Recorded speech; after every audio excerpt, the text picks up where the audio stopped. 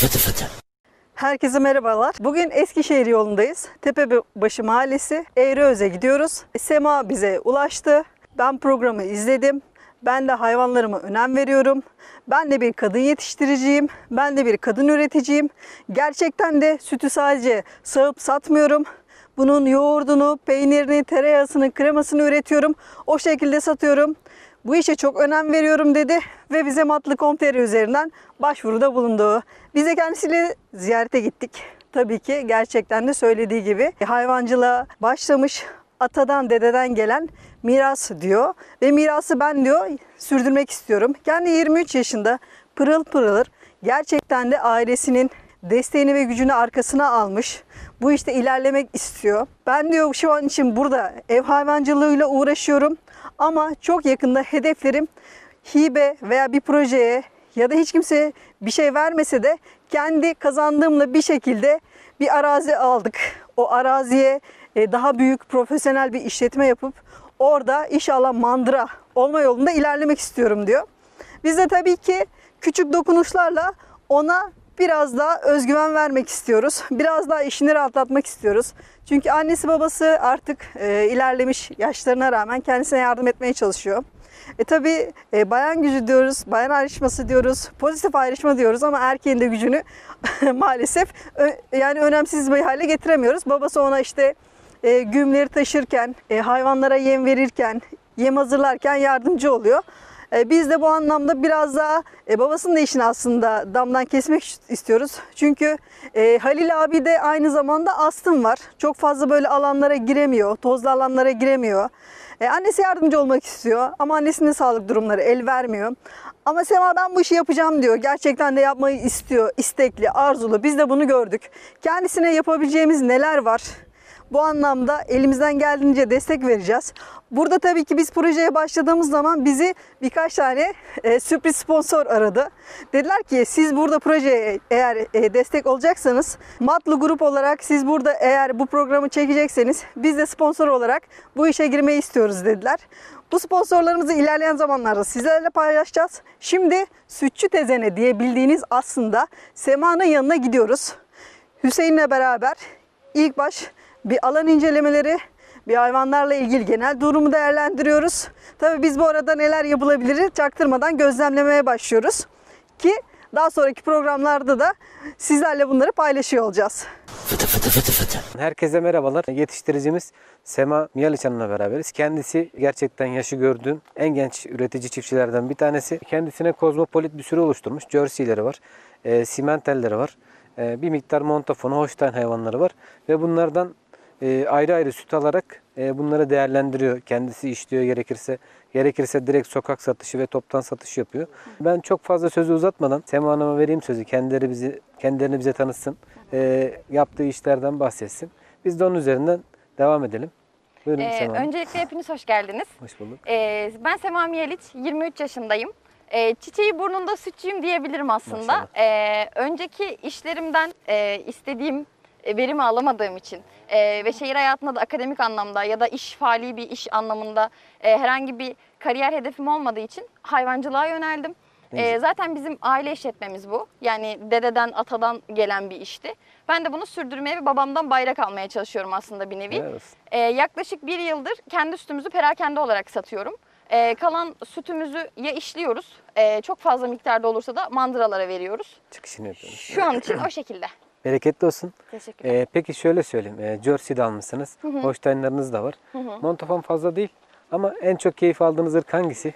Jersey ırkıyla tanışmam bir, bir yıl oldu diyebilirim hemen hemen. Ama en sevdiğim inek ırkı oldu diyebilirim. Hatta ineklere e, bir nevi ırkçılık da yapabiliyorum diyebilirim şu an için aslında. Peki niçin böyle hani Ya çok uysal bir hayvan. Yani ben onlara Danimarka prensesi diyorum hatta. Çok uysal, insana çok alışkın, çok meraklılar, çok sevecenler. Ee, süt miktarları da şu an için e, çok güzel. Yani biz ortalama bir 15 litre alıyoruz da 20 gayet litreye iyi. kadar çıkabiliyor laktasyon durumuna ve sonuçta beslemeye bağlı olarak. birinci buzağı var? Yani en sevdiğim jersey diyebilirim. Tabii hem küçük hayvanlar hem Aynen öyle, bakımı da çok zararsızlar kolay. hem az yiyorlar hem de Kesinlikle. güzel kaliteli süt veriyorlar. Verdikleri sütten tereyağı, kaymak Kesinlikle. hani Holstein'e göre 2-3 kat daha Mandayla fazla yarışıyor. çıkıyor. Evet mandayla yarışıyor. Ee, o bağlamda güzel. Bir de pazarı oluşturabildiğinizde perakende e, daha da hoş olacak. Kesinlikle. Ben ki pazar oluşturduğunuzu düşünüyorum ve bu pazar giderek büyüyerek artacaktır. Ee, şöyle biz de burada işbir firmasıyla birlikte e, Proyem olarak birlikte e, size katkıda bulunmaya çalışacağız. Şöyle e, işbir yatak bildiğim kadar yatakları yapacak. Buradan hayvanların konforu arttığında Kesinlikle. yani yatma süreleri uzadığında süt verimlerindeki değişme, kompozisyonlarındaki değişme vesaire bunları birlikte takip edeceğim. Hem Jersey'lerde hem Holstein'larda. Ee, sonrasında muhtemelen sağım hızını, sağım hızınızı arttırmak için hani sağımda geçen süreyi düşürüp orada hem daha kaliteli bir süt elde edebiliyoruz mu ona bakacağız. Hem de hayvanlarda miktarsal bir artış olacak mı onları takip edeceğiz. Sema Hanım'la biz e, çalışmalarımızı süt kalitesini iyi- iyileştirmek e, ve miktarını bir miktarda olsun arttırmak için yapacağız. E, kendisine bu bağlamda destek olacağız. E, besleme konularına da girebiliriz. Kendisine o konularda da sürü sağlığı konusunda da yardımcı olmaya çalışacağız. E, ben bu konularda ileriki çekimlerde zaten bahsederiz. E, şöyle söyleyeyim, Sema Hanım'dan da biraz söz, sözü vereyim. E, insanlar genç bir üretici, çiftçi ve özellikle bayan görüntülerde ne hissediyorlar? E, siparişlerinin devamları geliyor mu? E, ve yani hayvanların sahiplerinin de bayan olduğu belli. Çok neşeliler. İnsanlara da çok yakınlar. E, ben sözü vereyim size Sema Hanım. Ee, şöyle Bu arada gel kızım. gel. İnsanlar Gel. insanlar karşılarında böyle 50-60 yaşlarında Gel. sütçü bir amca bekliyorlar aslında süt beklerken. E, arabadan benim indiğimi görünce çok şaşırıyorlar. Hatta daha inmemişsem hani abi işte şu kadar süt bir daha getirir misin Geri vesaire gibi kadar. muhabbetler dönüyor. Beni gördükleri zaman çok şaşırıyorlar. Bu şaşkınlık sonra yerini bir mutluluğa bırakıyor. Hepsi çok takdir ediyor. Çünkü karşılarında böyle Evet. bir genç bir kadın görmeyi beklemiyorlar açıkçası. E, o şekilde müşterilerden geri dönüşlerim çok iyi. E, alan bir müşterim devamlı müşteri oluyor ve on- e, daha sonra onları sabit listeye al- almaya başlıyorum.